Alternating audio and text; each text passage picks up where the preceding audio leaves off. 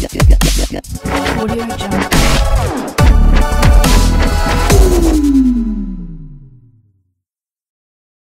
สวัสดีครับ วันนี้พามาดูเจ้า CT 125 service เต็มระบบเลย ตอนนี้พี่ช่างกำลังติดตั้งโช้คหลังอยู่นะครับ พร้อมกับสปริงโช้คหน้า เรียกว่าเต็มระบบเลยนะครับสำหรับคันนี้เจ้าที่ CT 125 หลังจากติดตั้งเสร็จแล้ว มีสปริงโชคหน้า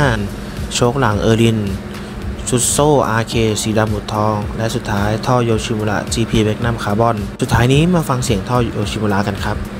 อบ คุณทุกคนครับแล้วพบกันในคลิปถัดไปครับ